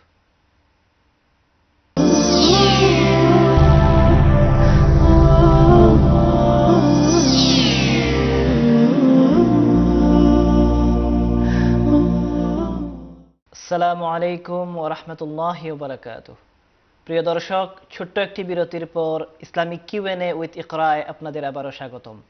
আলহামদুলিল্লাহ, বিরতির পূর্বে আমরা আমাদের মোহতারাম অতিথি, ঐতিহ্যবাহী দিনী শিক্ষা প্রতিষ্ঠান জামিয়াতুল খায়ের আল ইসলামিয়ার প্রতিষ্ঠাতা পরিচালক, বাংলাদেশের প্রাচীনতম দিনী শিক্ষা প্রতিষ্ঠান ফয়েজ আম মুন্সিবাজার মাদ্রাসার নাইবে মুহতামিম, গ্রেট ব্রিটেনের প্রখ্যাত আলেমে দিন হজরতুল আল্লাহ হজরত মৌলানা মুফতি আব্দুল মুন্তাকিম সাহেব দামাত বারাকাত হুমের কাছ থেকে গুরুত্বপূর্ণ আলোচনা এবং আপনাদের প্রশ্নের সমাধান জানছিলাম। আমরা এখন আবারও হজরতের কাছে যাব এবং তার কাছ থেকে প্রিয় নবীজি সাল্লাহ আলহি ওসাল্লামের জীবন আদর্শ সম্পর্কে গুরুত্বপূর্ণ কিছু আলোচনা শুনব। জি হজরত আহমদ সাহেব, আপনার কাছ থেকেও আমরা অনেক সময় মনে, শুনতে ইচ্ছে করে, কারণ আমাদের স্টাডিও হয়ে গেছে অনেক পুরাতন। অনেক আগের পড়াশোনা, আপনাদের নলেজও মাসাল্লাহ ফ্রেশ তো যাই হোক, আল্লাহ তাআলা এখনও এই পড়াশোনা অব্যাহত রাখার জন্য আমাদেরকে তৌফিক দান করেন। এই পড়াশোনার কোনো শেষ নেই এবং নবীজি সাল্লাহ আলী হুসাল্লামের পবিত্র সিরাত সম্পর্কে এখনও নতুন নতুন তথ্য আমাদের সামনে বেরিয়ে আসে এবং কেউ দাবি করে বলতে পারবেন না যে আমি সব কিছু জেনে নিয়েছি সব কিছু শিখে ফেলেছি। এবং এত ব্যাপক আলোচনা আলহামদুলিল্লাহ রয়েছে যে শুধু একটা মাসিক পত্রিকার নকৌশ নামের একটা পত্রিকা, তারা এক মাসের একটা বিশেষ সিরাত সংখ্যা বের করেছিলেন। তো এই একটা মাত্র সিরাত সংখ্যা প্রায় প্রতিটি খণ্ড পাঁচ, ছয়শো পৃষ্ঠার। আর এরকম তেইশ খণ্ড হয়েছিল। তো এরকম তেইশ খণ্ড, আবার প্রতি খণ্ড পাঁচ, ছয়শো পৃষ্ঠার খণ্ড। তো আর একটা পত্রিকার এতগুলো প্রবন্ধ এবং এতগুলো দিক নিয়ে একটি মাত্র পত্রিকার একটা মাত্র সিরাত সংখ্যার তেইশ খণ্ডে প্রকাশিত হয়েছে এবং প্রত্যেকটা খণ্ড পাঁচ শতাধিক পৃষ্ঠা সম্বলিত। তো এর দ্বারা আমরা বুঝতে পারি যে আল্লাহ নবী সাল্লাহ আলী সাল্লামের সিরাত বিশেষজ্ঞগণ কীভাবে চুলচেরা বিশ্লেষণ করেছেন এবং কীভাবে প্রত্যেকটা দিক জানবার চেষ্টা করেছেন। আল্লাহ নবী সাল্লাহ একবার অত্যন্ত আনন্দ প্রকাশ করেছিলেন, খুশি প্রকাশ করেছিলেন।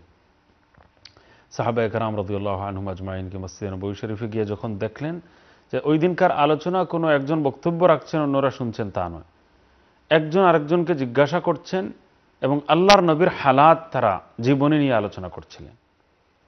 এমনকি সাহাবায় কেরাম রদুল্লাহ আনহুম আজমাইন আল্লাহর নবীর জীবদ্দশায়ও গড়ের বেথরের হালাত এবং অবস্থা সম্পর্কে জানবার জন্যে তারা পর্দার আড়ালে থেকে আজওয়াজে মুতাহারাতদেরকে সালাম করে তারা জিজ্ঞাসা করতেন, জানবার চেষ্টা করতেন।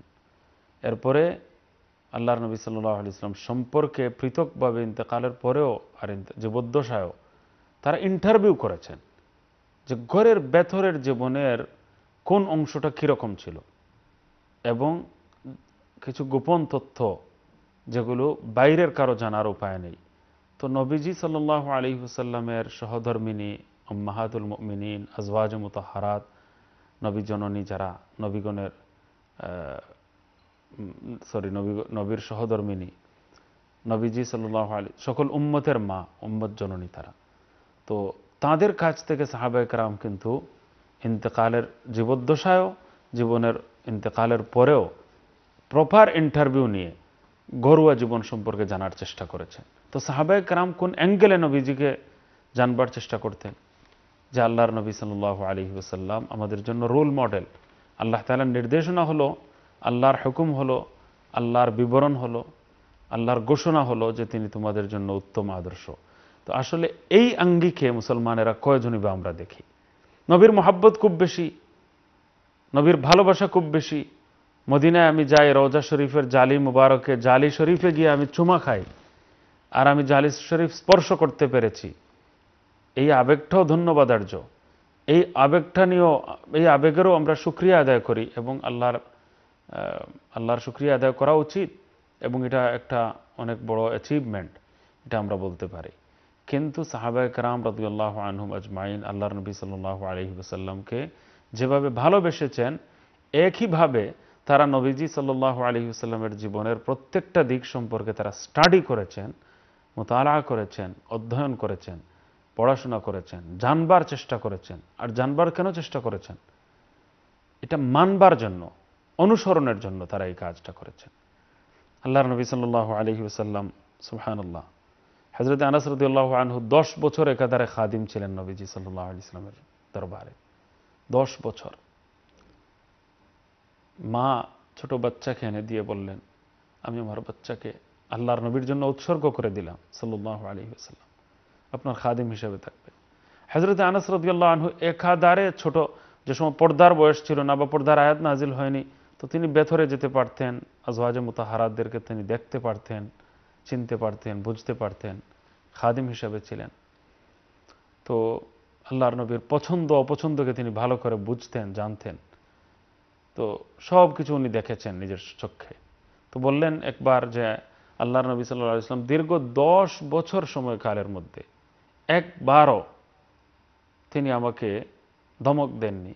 এই কথাটা বলেননি, এই কাজটা করলে কেন? অথবা করলে না কেন? তো ছোট বাচ্চাকে এটা করলে কেন অথবা করলে না কেন এই কথাটি বলেননি? ছোট বাচ্চাদেরকে এরকম বলাও, এত বেশি চার্জ করাটাও ঠিক নয়। ছোট বাচ্চাদেরকে আল্লাহ নবী অনেক কাজ তিনি ভুলও করেছেন, অবশ্যই ছোট বয়স ছিল। অনেক মতের উল্টো হয়েছে। তো এটা কেন করলে? এইটা করেননি। এটা এইভাবে করো। কি কোনোদিন নেভিগেশন এই কথাটা বলে আপনাকে? যে এইদিকে তুমি গেলে কেন? এটা তো আর বলে না। আপনি রাস্তা উল্টো করে ফেলেছেন। নেভিগেশন অনুযায়ী আপনি যাননি। নেভিগেশন আপনাকে ধমক দেয় না যে আপনি এইদিকে গেলেন না কেন? সে যেখানে গেছেন, সেখান থেকে যে পথ গন্তব্য পর্যন্ত পৌঁছায়, ওটা কোনো দোষারোপ না করে সেটা বলে দেয় আপনাকে। তো ধৈর্য হারা হয় না। তো অনেকে বলছেন, ইসলামের দায়ী যারা, তাদেরকে নেভিগেশনের অভ্যাসে অভ্যস্ত হতে হবে। নেভিগেশনের আখলাক এবং চরিত্র গ্রহণ করতে হবে।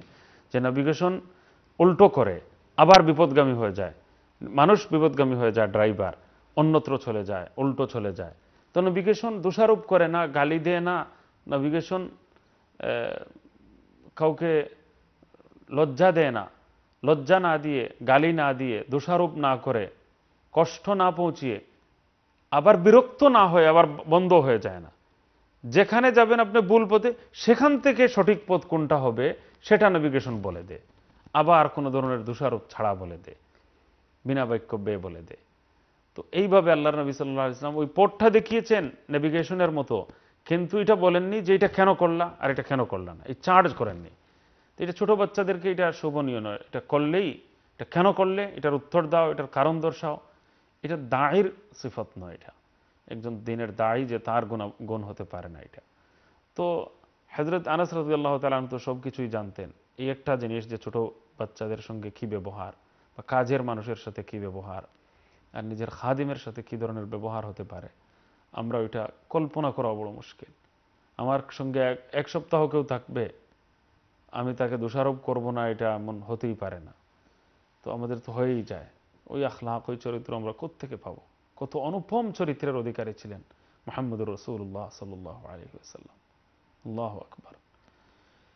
তো আমি আর আমাদের উস্তাদগণের কিছু উদাহরণ দিতে পারতাম, আমি সময় নাই, কিন্তু একবার আমি একটা কথা শুধু আমি বলতে চাইব, যে হজরত আনাস একবার দেখলেন আল্লাহ নবী সাল্লাহ আলি সাল্লাম গোস্ত দিয়ে কদু রান্না করা হয়েছে, লাউ, আমাদের গ্রিন কদু যেটা, তো কদু রান্না করা হয়েছে, তো প্রিয় নবী সাল্লাহ আলি সাল্লাম ওই ওই গোস্ত রেখে কদুর টুকরাগুলো আলাদা আলাদা করে বাছাই করতেছেন, আর এগুলো বের করে তিনি খাচ্ছেন। তো হজরত আনসরত আল্লাহ তালা আনহু কত সৌভাগ্যবান ছিলেন যে তিনি হাত ধুয়ে ওই কদুর টুকরাগুলো আলাদা করে করে করে করে প্রিয় নবী সাল্লাহ ইসলামকে দিচ্ছেন আর আল্লাহ নবী সাল্লাহ ইসলাম ওই বেছে বেছে শুধু কদুর টুকরাগুলো পৃথকভাবে খাচ্ছেন। সুহান আল্লাহ আজিম তো তিনি এই কাজটা করতেন। তখন আল্লাহর নবীর বেশি পছন্দ ছিল লাউ, কদু। তো এই জন্য হজরত আনাসরদুল্লাহ আনহুকে ওনার পরিবারের পক্ষ থেকে যখনই পরবর্তী পুরো জীবনের ওনার অভ্যাস ছিল, যখনই বলা হতো যে তোমার জন্য আজকে কি রান্না করব। বা তোমার উত্তম আইটেম বা ডিশ কি হতে পারে, ভালো ডিশ কি হতে পারে, যেটা সাধারণত পরিবারে গেলে আজকে কি খাইবা, কি কি রান্না করি তোমার জন্য অনেক কিছু রান্না করা যায়, তো আপনি বিদেশ থেকে যান, আপনার আম্মা যদি দেশে থাকেন, তখন উনি বলবেন, তোমার পছন্দ কি আজকে বা এমনিতেই জেনে নেবেন কি পছন্দের খাবার। সুহান আল্লাহ তো হজরত আনসরত আল্লাহ তালহু যখনই বলা হয়েছে, যতবার বলা হয়েছে, তিনি কদু ছাড়া অন্য কিছু পছন্দ করেননি। তিনি বলতেন, আমার কদুই সবচেয়ে বেশি পছন্দনীয় এবং তার ফ্যামিলি মেম্বাররাও তার জন্য এই ব্যবস্থাটা করতেন। হজরত উমর রদুল্লাহ তালহুর শাসন আমলে তিনি নবীজির বিশেষ সান্নিধ্যপ্রাপ্ত সাহাবায় কারামদের জন্য ইরাকের এলাকায় তিনি জমি বরাদ্দ করে দিলেন। যে এরা যেহেতু বেশি খাদিম, আল্লাহ নবীর নিকটবর্তী ছিলেন, ইসলামের জন্য কোরবানি দিয়েছেন, শুরুতে কষ্ট বরণ করেছেন। তো সরকারি জমি তিনি বরাদ্দ করে দিলেন যে ওনাকে এই এতটুকু জমি দিয়ে দেওয়া হোক। তো হজরত আনাস রদিউল্লাহনুর জন্য যে জমিটা বরাদ্দ করা হয়েছিল, সেই জমিতে হজরত আনাস রদিউল্লাহ তালহু শুধু কদুর ফসল তিনি মানে সবাই তো অন্য কিছু উৎপাদনের ব্যবস্থা নিচ্ছেন। কিন্তু হজরত আনাস রদিউল্লাহ আনহু শুধু কদু উৎপন্ন করছেন। শুধু কদুর ফসল তিনি ফলাচ্ছেন। আর আশ্চর্যের বিষয়, কদুর প্রতি, লাউয়ের প্রতি ভালোবাসা মোহাম্মদুর রসুল্লাহ সাল্লাহ ইসলামের ভালোবাসার কারণে। আল্লাহ নবী পছন্দ করতেন এই জন্য তারও পছন্দ।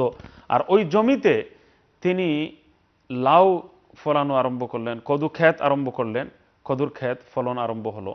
আল্লাহ তালা এত বরকত দিলেন যে এক একটা লাউ আপনি অবাক হবেন, একটা গাধার পিঠে ধরেন আন্না হলেও আপনি কয়েক মন দিতে পারবেন, কয়েক মন।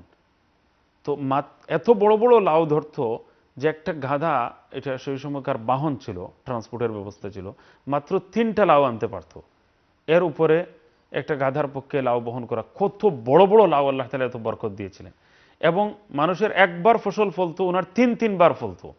এগুলো ইতিহাসের বর্ণনায় পাওয়া যায়। আর তিনি পুরো জমিটাই শুধু লাউ দিয়ে ভরে ফেলতেন। আর এটার দুই এক ফসল নয়, বরং তিন তিন ফসল হয়ে যেত। আবার বরকত এত বেশি হয়েছিল যে এটা মাত্র তিনটা লাউ একটা গাধা বহন করে নিয়ে আসতে পারতো।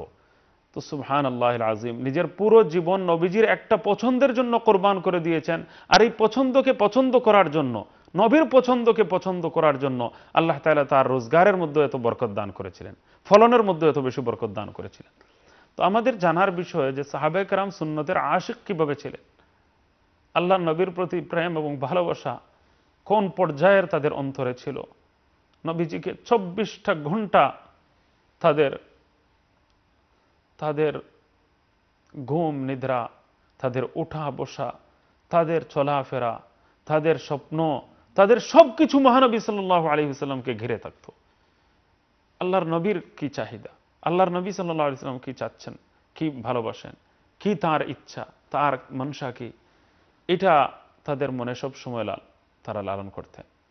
হজরত আবদুল্লাহ বিন উমর রদুল্লাহ তালানহু চিন্তা করেন, তারা রোল মডেল হিসেবে তারা কীভাবে নিয়েছিলেন? শুধু ভালোবাসা নয়, অনুসরণ, অনুকরণের ক্ষেত্রে তারা আল্লাহ নবী সাল্লাহ আলি সাল্লামকে রোল মডেল বানিয়েছিলেন। আজকে আমরা অনুসরণ, অনুকরণ থেকে দূরে। আমরা বাসায় বলেন, ঘরে বলেন, বাইরে বলেন, খাবারের অবস্থায় বলেন, সর্বত্র আমরা নবীজির সন্ন্যতকে পছন্দ করি না। এক হাদিসে এসেছে যে আল্লাহ নবী সাল্লাহ ইসলাম উঁচু নরম গালিছার মধ্যে কোনোদিন বসেননি, ম্যাট্রাসের মধ্যে, যেটা খুবই নরম, জাজিম, যেটাকে গদ্দি বলা হয়, গদি, এরকমের কোনো কিছু একটা নরম ইয়েতে বসেননি।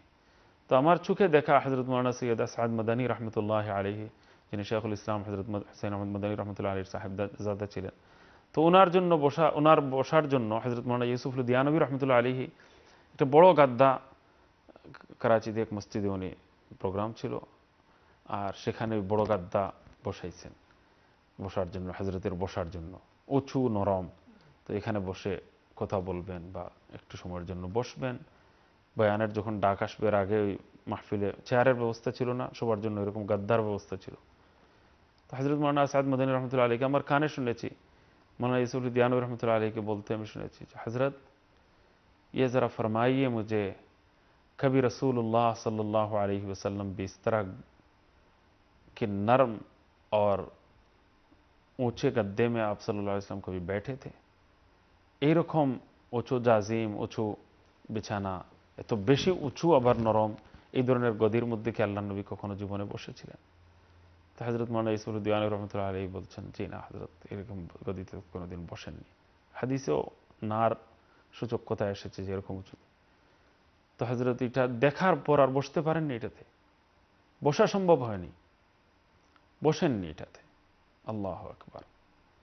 আল্লাহর নবী সাল্লাহ ইসলাম সম্পর্কে বলা হয়েছে যে তিনি যে চার পাই বা খাট যেটা উঁচু খাটের মধ্যে বসে খাবার গ্রহণ করেননি, মাটিতে বসে খাবার গ্রহণ করতেন। চকির মধ্যে বা খাটের মধ্যে বসে খাবার গ্রহণ করেন এটা হাদিসের মধ্যে এসেছে। তো একবার হজরত জকি কফি রহমতুল্লাহ আলী মুফতি শফি রহমদ হজরত মুফতি মোহাম্মদ শফি রহমতুল্লাহ আলীর বড় সাহেবজাদা ছিলেন। তো উনি ওনার ওই আব্বার খাবারের জন্য একটা হজরত মুফতি শফি সাহেব রহমতুল্লাহ খাবারের জন্য উঁচু চৌকি তৈরি করলেন যে হয়তো এটা ভালো লাগবে, একটু বসে খাইতে পছন্দ হবে। তো আল্লাহর হজরত মুফতি শফি সাহেব রহমতুল্লাহ আলহি বললেন, যেটা তুমি আমার জন্য তৈরি করেছ, ওই চোখে দিয়ে উনি পরবর্তীতে ওইটা লাকড়ি দিয়ে উনি বলছেন যে একবার বসছেন আর বসার পর বললেন যে আমার বসতে মন চাচ্ছে না। হজুর সাল্লাহ ইসলাম ফ্লোরে বসে খাবার গ্রহণ করেছেন বেশিরভাগ সময় ফ্লোরে। আর এরকম উঁচু চকিতে নিষেধ করেছেন, বা তিনি এটাকে পছন্দ করেননি। আর এটা তখনকার সময়ের কোরাইশ সর্দারদের একটা অহংকারের রীতি ছিল। তো এই তাদের রীতি হওয়ার কারণে ওদের সঙ্গে সামঞ্জস্য হয়ে যায়, বিদায়, এই চকিতে বসে তো আর আমি খাব না। কিন্তু এটা তোমার হাদিয়া হিসাবে গ্রহণ করলাম। আর এই লাকড়ি দিয়ে তার জানাজার মৈয়িতের গোসলের যে পানি সেটা গরম করা হয়েছিল। কিন্তু নিজে এটা আর ইউজ করেননি। তো আপনি চিন্তা করেন যে আমাদের ওলামা একরাম বুজুর্গান দিন কীভাবে সুন্নতের উপর আমল করছেন? যে চৌকিতে বসে খাবার নিচ্ছেন না, যে আমি নিচে বসে খাবার গ্রহণ করব। আল্লাহ নবী সাল্লাহ ইসলামের হজরত আবদুল্লাহ আমিন আমর রদুল্লাহ তালহু আল্লাহ নবী সাল্লাহ ইসলাম হিজরতের যে রাস্তা দিয়ে মক্কা থেকে মদিনায় চলে এসেছিলেন ওই রাস্তায় যে জায়গায় নবীজি একটু এমনিতেই বিশ্রাম করেছিলেন, বসেছিলেন। তো ওনার প্রয়োজন না কিন্তু ওই রাস্তা দিয়ে যাওয়ার পথে তিনি বসতেন। বললেন, আমার তো প্রয়োজন না কিন্তু আল্লাহ নবী সাল্লাহ ইসলাম এখানে একটু বিশ্রাম নিয়েছিলেন যাওয়ার পথে, পথিমধ্যে। তো আমার ভালো লাগে, আমি এখানে পথিমধ্যে একটু বিশ্রাম না নিয়ে কেন যাব? প্রস্রাব যে এলাকায় গিয়ে করেছেন, এই জায়গায় প্রস্রাবের প্রয়োজন ছিল না, কিন্তু প্রস্রাবের বাহানা অবলম্বন করেছেন। যে আল্লাহ নবী সাল্লাহ ইসলাম এখানে ইস্তেঞ্জার জন্য তশরিফ নিয়ে গিয়েছিলেন। তো এইভাবে সাহাবায় কারাম রদিয়াল্লাহ আনহুম আজমাইন মানে পদাঙ্ক অনুসরণ করে চলেছেন। ফুট অফ স্টেপ অবলম্ব, অনুসরণ করে তারা চলেছেন। তো আমরা এই ব্যাপারে আমরা কত দুর্বল, আমরা কি সুন্নতের এরকম অনুসরণের দিকে আমাদের মনোযোগ আছে? আর এই আঙ্গিকে রসুল্লাহ সাল্লাহ আলিয়াল্লামকে স্টাডি করার কোনো মনমানসিকতা কি আমরা আমাদের মধ্যে তৈরি করতে সক্ষম হয়েছি যাবৎ। আল্লাহ আকবার। এটাই সফলতার সোপান। এটাই সফলতার সিঁড়ি। আল্লাহ তালা এই রাস্তা অবলম্বন করেই আমাদেরকে সফলতার শেষ পর্যায় পর্যন্ত আল্লাহ তালা আমাদেরকে পৌঁছে দেবেন। যে পন্থা সাহাবাহ কারাম রদি আল্লাহ মাহিন অবলম্বন করেছিলেন। অনুসরণ, অনুকরণের কত উচ্চ মার্গে ছিলেন কারাম। হজরত আবদুল্লাহ বিন মসউদ রদি আল্লাহ রাস্তা দিয়ে আসছেন। মসজিদে দু একজন দাঁড়ানো আল্লাহ নবী সাল্লাহ আলিয়াল্লাম তাদেরকে বলছেন, বসার জন্য, তোমরা বসে পড়েন। আপনারা বসে পড়েন। তো যারা দাঁড়িয়ে আছেন, তারা বসে পড়েন। তো বসে পড়ো, এই কথাটা নবীজির মুখ থেকে উচ্চারিত হয়েছে। আর হজরত আবদুল্লাহ বিন মসুদ রদিউল্লাহু রাস্তা দিয়ে আসার পথে পথিমধ্যে হেঁটে আসছেন। নির্দেশটা তার প্রতি ছিল না। তিনিও জানেন যে মসজিদে যারা দুই একজন দাঁড়ানো, তাদেরকে বসার কথা আল্লাহ নবী সাল্লাহ আলী সাল্লাম নির্দেশ দিচ্ছেন। কিন্তু তিনি সেখানে আওয়াজ কানে গিয়ে পৌঁছেছে মসজিদের। আল্লাহর নবী সাল্লাহ আলি সাল্লামের জবান মুবারক থেকে উচ্চারিত আওয়াজ এবং কণ্ঠ যে বসে পড়ো। আর এই বসে পড়ো শব্দটা কানে পৌঁছেছে আবদুল্লাহ বিন মাসুদের তিনি রাস্তায় আসার পথে তার প্রতি নির্দেশনা নয়। তিনি কোনোভাবেই আল্লাহর নবীর কোনো হুকুম লঙ্ঘন করছেন না। আদেশের উল্টো কিছু করছেন না। তাকে নির্দেশ দেয়াই হচ্ছে না। কিন্তু কানে এই আওয়াজ পৌঁছেছে, সেখানে বসে পড়েছেন রাস্তায়। পরে বলা হলো, আপনাকে তো বলা হয়নি। আপনি কেন বসে পড়লেন? তো তিনি বললেন যে, আমিও জানি আমাকে বলা হয়নি। কিন্তু হজরত মোহাম্মদ সাল্লাহ আলহিউসাল্লামের জবান থেকে বসো শব্দটি উচ্চারিত হয়েছে।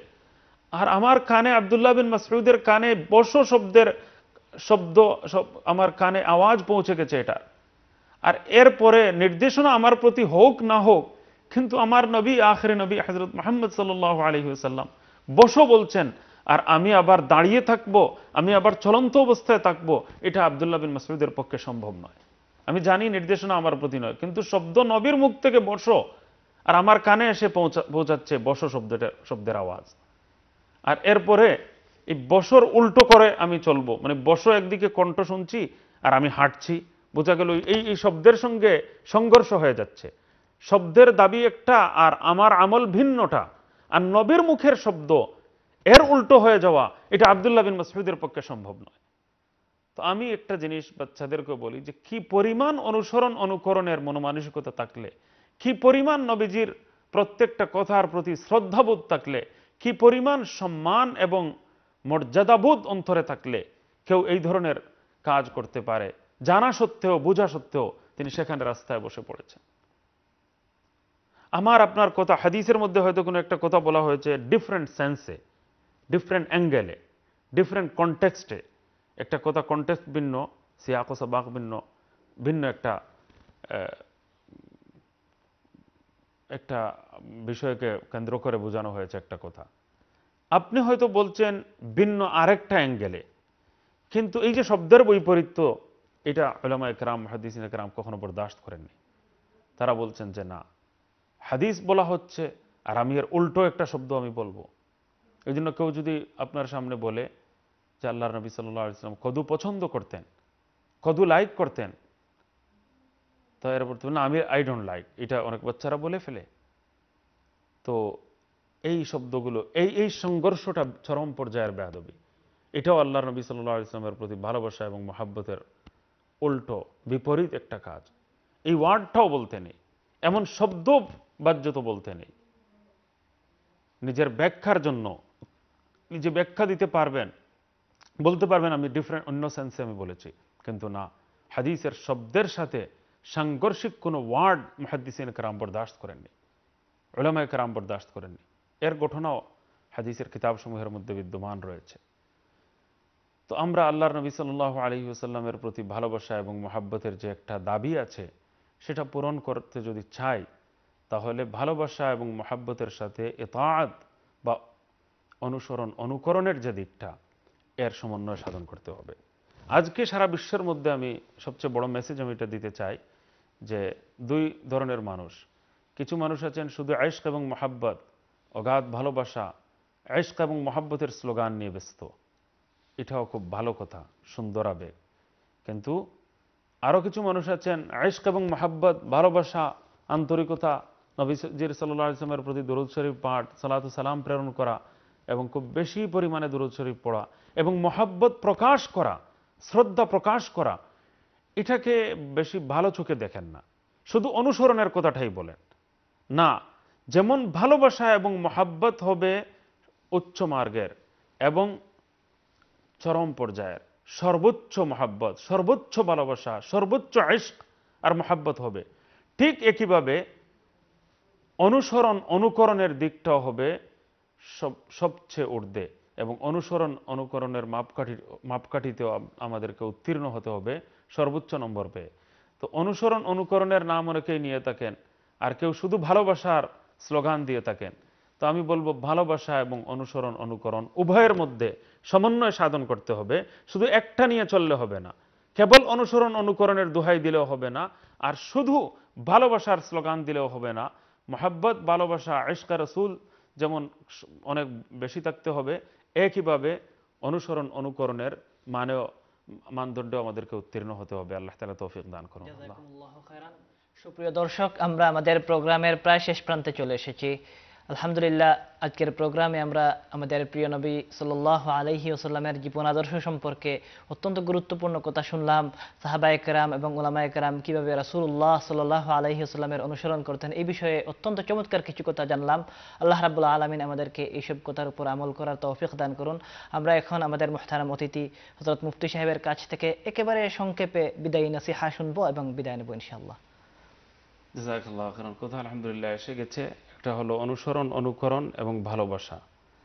দোনোটার কোনো বিকল্প নেই। অনুসরণ, অনুকরণও খুব বেশি হতে হবে সাহাবায়ক রামের মতো হতে হবে, ভালোবাসাও সাহাবায়ক রামের মতো হতে হবে। এখন শুধু ভালোবাসার স্লোগান দিয়ে অনুকরণ, অনুসরণ যদি আমরা বাদ দিয়ে দেই, প্রত্যেকটা ফোটো অফ স্টেপ প্রত্যেকটা পদাঙ্ক অনুসরণ করার যে দাবি ইসলামের সন্ন্যাতের সেটা যদি আমরা না করি, তাহলে আমরা অনেক ক্ষতিগ্রস্ত হয়ে যাব। আর আল্লাহর সঙ্গেও ভালোবাসার সবচেয়ে বড় দাবি হলো যে মোহাম্মদ সাল্লাহ ইসলামকে ফলো করতে হবে। কল ইনকুম তুম তো হিব্বুন আল্লাহ ফাত্তাবিউনি। আল্লাহর সঙ্গে মোহাব্বতের দাবি যদি থাকে, তাহলে আমি মোহাম্মদ সাল্লাহ ইসলামকে অনুসরণের মাধ্যমে তা সত্য হওয়া প্রমাণ করতে হবে। তো অনুসরণ, অনুকরণ না হলে ভালোবাসার দাবি বৃথা এবং মিথ্যা পর্যবসিত হতে বাধ্য। আবার শুধু অনুসরণ, অনুকরণের একটা নিরেট স্লোগানও যথেষ্ট নয়, ভালোবাসা এবং মহাব্বতও অনেক বেশি অনেক বেশি এবং এমনকি সবচেয়ে বেশি আমাদের অন্তরে হতে হবে।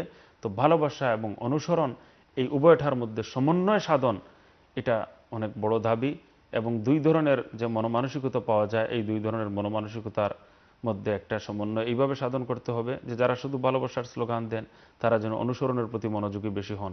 অনুসরণ, অনুকরণের কথাই যারা বলেন, আর ভালোবাসার দিকটা একটু দুর্বল তাদেরকে অনুসরণ, অনুকরণের সাথে সাথে ভালোবাসাও পরিপক্ক হতে হবে। আল্লাহ তালা এই দনু গুণ একসঙ্গে পরিপূর্ণরূপে মানে সর্বোচ্চ, এই দনুটা গুণের সর্বোচ্চ পরাকাষ্ঠা প্রদর্শনের আমাদেরকে যেন তৌফিক দান করেন। সুপ্রিয় দর্শক, আজকের মতো আপনাদের কাছ থেকে বিদায় নিচ্ছি। Islamic Q N A with Ikrar আগামী প্রোগ্রামগুলো দেখার আমন্ত্রণ রইল আল্লাহ রাবুল্লাহ আলমিন। সবাইকে ভালো রাখুন। আসসালামু আলাইকুম ও রহমতুল্লাহ Mm-hmm.